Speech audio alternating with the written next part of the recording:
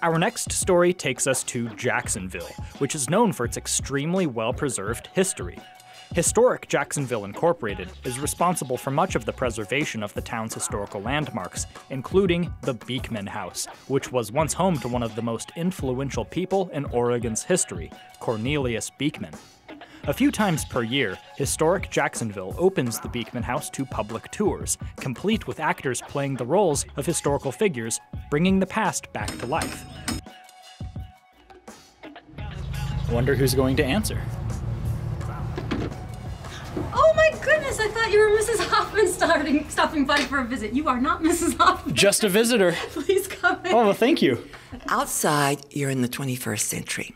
But when you walk through that front door, you're in 1932 Jacksonville. The country is deep in the Great, Great Depression. A fourth of Americans are unemployed. The Beekman children, they are now adults. Both of the parents have, have, passed away, and the children are living in Portland. But they're home for the weekend, closing up their family home. And so they're they're trying to decide, okay, what do we leave? What do we take with us? What not? When you come to call. Excuse me, I heard the doorbell ring and I thought it was Aunt Kate. We have visitors. Well, I'm so glad you chose this day to visit. Ben and I have been so busy we haven't had a chance to socialize. But my goodness, with the price of gasoline up to 10 cents a gallon now, it's a wonder you all were able to come. It was a hard journey. oh, I can imagine. The Beekman family they were probably the richest and most prominent of Jacksonville's pioneers. And Beekman had come here originally as an express rider for a company called Cram and Rogers in the early 1850s. And when the company went belly up, he bought their horses and stables and opened Beekman's Express. Because he was carrying gold, he went out and he bought a safe. And that became the first financial institution north of San Francisco. From there, though, he did open a bank, and he eventually became a Wells Fargo agent. And that sort of had him fixed for life. Come on upstairs. Just be sure and hold on to the railing. Ben and I were joking about how we used to scamper up these stairs but we don't scamper any longer. You told them that we have to be back in Portland next week. I did. And uh, we don't want to be rude. Ben, Mother would be horrified. I left her underwear out on display. I, just, I completely forgot. I set it aside because I thought those things might be good to add to our stack for the things for the poor farm. But my goodness, Mother's pantalettes must be from 1890, uh, 1900. Oh, look at all of these things. And here's Father's old old lounge. You know what?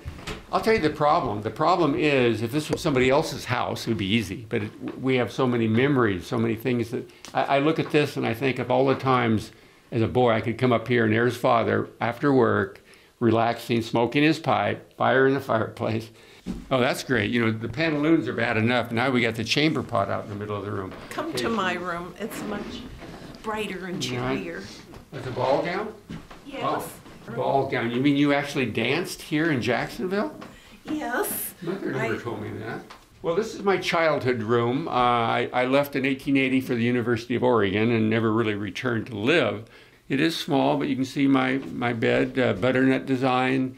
To my mother, because I feel that in the heavens above, the angels whispering to one another, can find among their burning terms of love none so devotional as that of mother. Oh, you can see why he was always the apple of mother's eye. Mother loved me best. You may want to notice this picture on the wall on your way out. This is father in 1878, isn't that right, Terry? Yes. He's also a major philanthropist. He he donated money to build a couple of the schools. The Historic Presbyterian Church, he bought the lot, paid for half of the building, and he frequently paid the minister's salary. He was also a town trustee for years. He was mayor for years. He was actually drafted as a candidate for governor of Oregon. He didn't want the job. He didn't campaign, but he lost by less than 70 votes. Father would be turning in his grave if he knew what was going on now in this country. People are in shanty towns, third of the population. They're and digging up the streets. digging up the streets here. of Jackson County has more gold mines now than they ever had. In Jacksonville, rather than putting people on the dole, which was their welfare, they gave them mining permits. So people undermined virtually every inch of Jacksonville. And to this day, we still get cave ins. People are camping in the streets. Camping or shooting venison at night, deer at night to, to, to survive, make moon, selling moonshine. In terms of what Historic Jacksonville does, we've been around for over 10 years. And it started when the buildings were transferred to the city's ownership. And they really didn't have the staffing or the time to open them up and do things. But without tours and programs and events, they're just old buildings with names and dates on them. So we started the programming and activities. Our mission is really to bring our Jacksonville's history to life. I'm sure you're all curious to see the indoor facility. You know, my sister Julia, she was one of the first to have indoor facility. Cornelius paid $51.10 from the Sears catalog for the for the fixtures. I, I know that's a lot of money, but they got all of them for that. But he, Oh, and he even ordered the, an extra large bathtub because he heard that President Taft got stuck in his bathtub and he didn't want that to happen to him. Of course, Taft's 300 pounds. Most of us, when we studied history, we learned it as names, dates, places, and battles. You memorize them for the test, you spit them out, and then you promptly forget them. But what history really is, it's the people and their stories. And that's what we try to share. And this is Julia's writing desk. And she could do her correspondence there. Oh, right on the corner is a photograph, a picture postcard of the Portland Hotel. And that's where Miss Carrie is going to join Ben. Have you heard of Peter Britt? He is a man from Switzerland that settled in Jacksonville in the early 1850s, opened a photographic studio, and has recorded our history for us in photographs. And here's some of them. He took these pictures. This is Cornelius, and this is Julia soon after they were married. Oh, and the house we're standing in right here, soon after they moved into it. Uh, the house itself is what you would call sort of modified classical revival. Beekman was not someone who showed off his wealth. So it's, it's what you would consider modest. The house is much larger than it looks so. Oh, and my sister had a very modern kitchen, and she even redecorated and redid it in 1901. Oh, and Louise is here. Hi. Oh, Nice to it's see so you. nice to have you come. It's a hard weekend for the children closing up the house. You know, Louise came to work for the family, what, when you were a young girl? Just a young girl. And you worked for them for like, 12 years. oh, 12. No wonder she's like a member of the family. so set a place for me because I get to stay for dinner. I'll set a place so for you. nice to have you here. Pleasure to meet you.